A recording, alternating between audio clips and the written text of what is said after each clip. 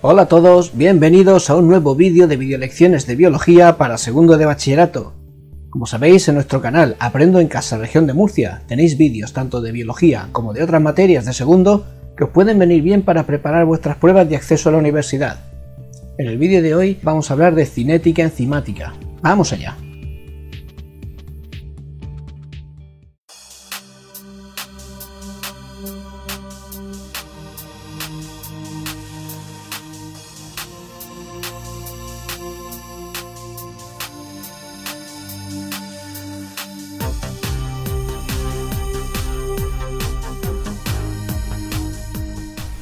En el vídeo anterior de esta serie explicamos cómo una enzima actúa catalizando una reacción química. Si tenemos una cantidad determinada de enzimas y añadimos una cantidad determinada de sus sustratos específicos, éstas empezarán a catalizar reacciones y formarán una cantidad determinada de productos. La cantidad de producto que va a aparecer va a depender, entre otras cosas, de la cantidad de sustratos que tengan las enzimas para trabajar. A mayor cantidad de sustrato, mayor cantidad de producto. Ahora bien, si mantenemos siempre constante el número de enzimas que están trabajando para producir un determinado producto, llegará un momento en el cual, por mucho sustrato que añadamos, no vamos a producir más producto. Esto se debe, obviamente, a que todas las enzimas van a estar trabajando al límite de sus capacidades para producir producto, y por más sustrato que haya, no van a trabajar más. Esta situación puede representarse como una gráfica como la que estáis viendo. A este tipo de gráficas se las conoce como gráficas de cinética enzimática. En el eje Y se representa la velocidad de acción de esa enzima, puede medirse, por ejemplo, midiendo la concentración de producto formado por la enzima. En el eje X tendríamos la cantidad de sustrato añadido. Estas gráficas se pueden obtener aislando la enzima y poniéndola en un medio en condiciones óptimas y añadiéndole directamente el sustrato. Y esos datos se pueden extrapolar luego a lo que ocurriría dentro de una célula. Si os fijáis bien, la forma de la gráfica describe una curva. Al principio, cuanto más sustrato tiene la enzima, más producto va a producir. Este crecimiento va a ser progresivo, hasta que llegará un momento en el que la curva se vuelve horizontal.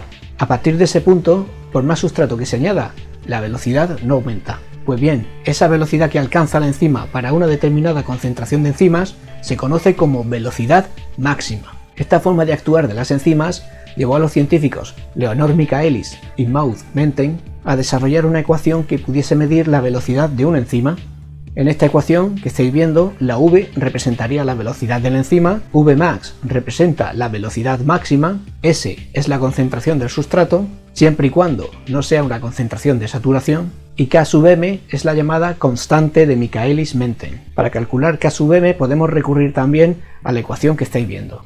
Otra forma de conocer Km es observando la propia gráfica, y es que K sub m sería la concentración de sustrato a la cual la enzima es capaz de trabajar a la mitad de la velocidad máxima. Es decir, que si sabemos la velocidad máxima que puede alcanzar una enzima y dividimos el número entre 2, si usamos la propia gráfica y extrapolamos ese valor al eje X, podemos averiguar cuál sería la K sub m, la constante de Michaelis-Menten, para esa enzima. Porque es importante conocer el valor de K sub m. Pues bien, esto es importante porque K sub m es una constante que es propia de cada enzima y nos puede dar una idea de la afinidad que tiene esa enzima por su correspondiente sustrato. De manera que cuanto mayor sea el nivel de K sub m, significa que la enzima alcanza la mitad de su velocidad máxima con mayor cantidad de sustrato.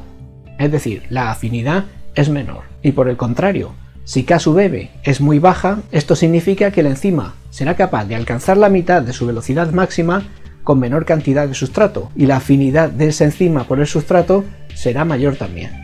Un problema relacionado con esto que os podría salir en el examen sería una gráfica en la que apareciesen superpuestas las curvas de dos enzimas diferentes y tuvieseis que averiguar cuál de las dos tiene mayor afinidad por su sustrato. La gráfica podría ser por ejemplo como la que estáis viendo ahí. La curva verde representa una enzima y la curva azul representa a otra enzima. Para saber cuál de las dos tendría mayor afinidad por su sustrato, habría que calcular cuál de los dos KMs es más bajo, Incluso a simple vista se podría apreciar que la enzima representada por la gráfica verde tiene una Km menor, por eso será más afín a su sustrato. Y este resumen es todo lo que veremos sobre cinética enzimática. En el siguiente vídeo de la serie seguiremos viendo aspectos de las enzimas. Si os ha gustado no olvidéis darle a me gusta y no os perdéis el siguiente vídeo. ¡Hasta la próxima!